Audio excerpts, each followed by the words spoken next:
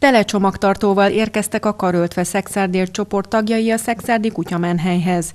A dolgozók hálásan vették át, és szinte azonnal hasznosították a csoport által gyűjtött plédeket, takarókat, törölközőket. Elsősorban a kölyök kutyák, valamint az idősebb, betegeskedő, esetleg a frissen műtött négylábúak melegen tartásához használják fel a ruhanemüket. A csoport mindig másoknak segít, ezúttal az árván maradt állatoknak gyűjtöttek, mert megtudták, hogy a Szexárdi kutyamenhely bajban van. A menhelyen több mint 200 kutya él, a számuk egyre csak nő, mivel idehozzák a szexárdon talált állatokat. A legnagyobb baj az, mondja fiát Szilvia, a menhely vezetője, hogy az örökbefogadások akadoznak a járvány miatt. Ezeknek a négy lábúaknak nagy része nincs ivartalanítva, és a szükséges védőoltások is hiányoznak. Ezek és az ellátások mind a menhely vezetőjére várnak, a költségek pedig megugrottak az elmúlt hónapokban.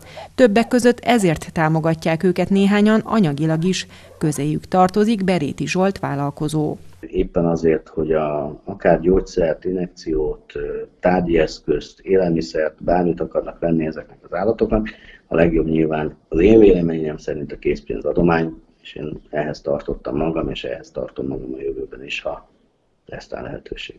Fiát Szilvia azt mondja, ez nem kirívó eset, könybelábat szemmel idézte fel, mennyi segítőjük van a négylábúaknak a Tolnai megye székhelyen. Azt mondja, kicsit olyan volt a koronavírus járvány kitörésekor, mintha karácsony lenne. A szexárdi és környékbeli állatbarátok közül többen a karöltve szexárdi csoporthoz hasonlóan ruhanemüket, kézzel vart párnákat, más több zsáknyi kutya ledelt élelmiszert juttatott el a menhelyhez. És ha a vezető úgy kérte, az adományokat letették a kapu elé, így csökkent a személyes érintkezések számát.